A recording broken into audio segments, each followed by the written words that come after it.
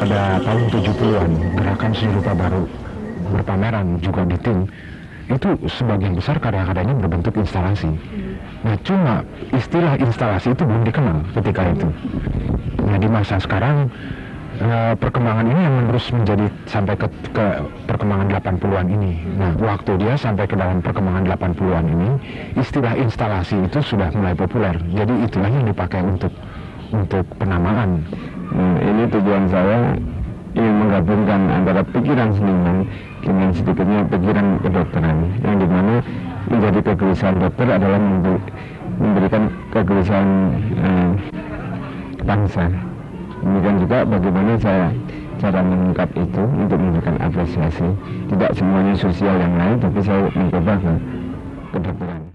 Pada konsepnya tiga baris kata kalimat itu ya. Esensi kesenian adalah kemerdekaan. Esensi kemerdekaan adalah hak asasi manusia gitu kan. Esensi seniman adalah hak asasi untuk kemerdekaan gitu kan.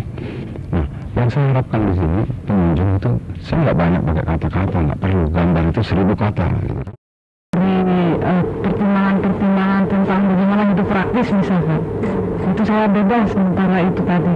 Dan itu itu uh, juga menyenangkan. Selain uh, saya merasa bahwa ide-ide saya ketika tidak ada pretensi di dalam kepala saya itu muncul dengan dengan uh, apa alami dia lahir begitu dan saya saya menyaksikan itu satu sesuatu proses uh, di dalam alam bagaimana hidup berjalan bagaimana kreasi itu berkembang. Jadi inspirasi di sini adalah tidak ini tidak itu tapi mencari sesuatu mencari bentuk ekspresi yang baru.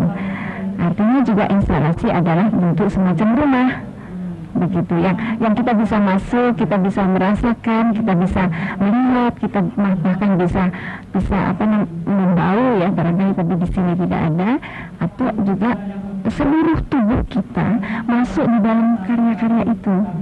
Jadi kalau dulu ya memang ada di sini beberapa karya lukis ya itu lebih mengandalkan imajin ya. Kita kita melihat itu mengandalkan intelektualitas kita untuk mengerti itu ya. Tetapi untuk karya instalasi dalam melihat itu sangat memudahkan karena yang ikut adalah seluruh tubuh kita mata kita, telinga kita, apa namanya perasaan kita, badan kita ya semuanya masuk masuk di dalam karya itu sendiri.